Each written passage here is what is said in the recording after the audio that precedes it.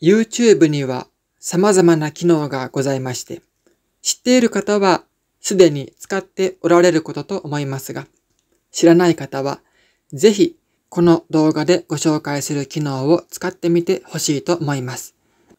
今回はこのチャンネルで公開している数字符の動画をパソコンで再生しながら練習するときに使える便利な機能をご紹介していきたいと思います。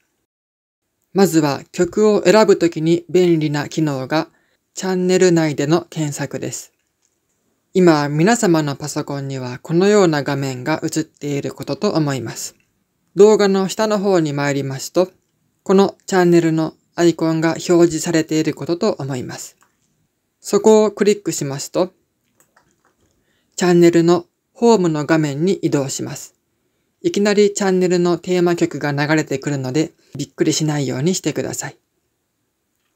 で、このページの右上の方に虫眼鏡のマークがあると思います。そこをクリックしますと、検索したい言葉を入力する欄が出てきます。今回は桜と入力して検索してみましょう。そうすると、桜という単語を含む動画が表示されます。この右上の検索バーでまた何度でも検索し直すことができます。検索は曲名だけではなくて、例えばレベル1と打てば、レベル1の曲が表示されるようになっております。いろいろな言葉で検索して試してみてほしいと思います。次に再生速度の変え方です。今回は日本雇用の桜桜を例にご説明したいと思います。検索結果の一番下のこの桜桜。はい、桜桜の数字符の動画に移動しました。数字符の動画はできるだけゆっくりなスピードで作ってありますが、人によってはもっとゆっくり練習したいという方もいらっしゃれば、もう少しスピードを速くしたいという方もいらっしゃると思います。そのような時に自分にちょうどいい演奏の速さに変えることができます。動画の下に歯車のマークがあります。これは設定のボタンです。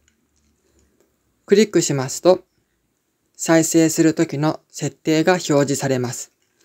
上から2個目、再生速度というところが、現在は標準になっています。ここをクリックしますと、再生速度が0.25から2まで選べるようになっています。もっと細かく設定したい場合は、右上のカスタムというところを押すと、さらに細かく設定することができます。この YouTube のすごいところは、音の高さを変えずに再生速度だけ変えることができるという点です。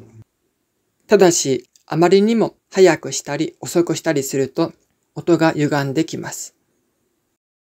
次に、練習をしていてどうしても苦手な部分がある。そこを集中的に部分練習したいという時に便利な方法です。例えば、この桜桜という曲で5小節目から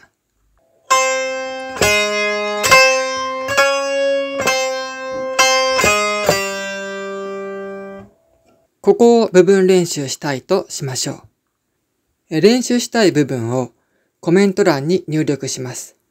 この時、入力は半角で行ってください。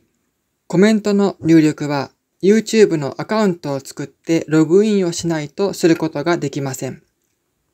えー、コメントを入力して、右下のコメントというところをクリックします。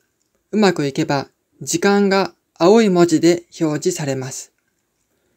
そこをクリックすると、その時間から動画の再生が始まります。ポイントは練習したい部分の2、3秒前に設定しておくことです。ギリギリの時間にしてしまうと、クリックしてから練習を始めるまでの余裕がありません。もうこのコメントはいらないなと思いましたら、コメントの右側にマウスの矢印を持っていきますと、点が3つ出てきます。